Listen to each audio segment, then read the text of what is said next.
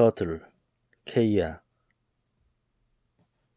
거북이 귀 pronunciation 귀 meaning 거북이 터틀 터틀을 케이야라고 했습니다. 케이야 그죠?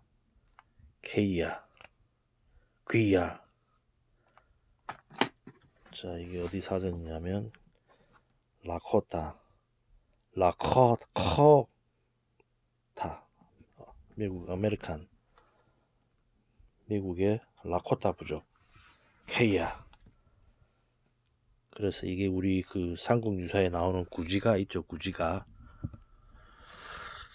구지가에 나오는 그거죠. 귀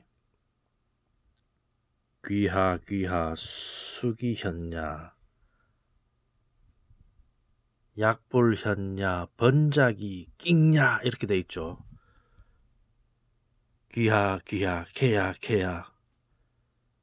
그래서 이게 우리 이 고구려 땅에서 살던 이쪽 라코타 이 인디언들이 넘어간 지 한 천년? 천년 조금 지나지 않았겠는가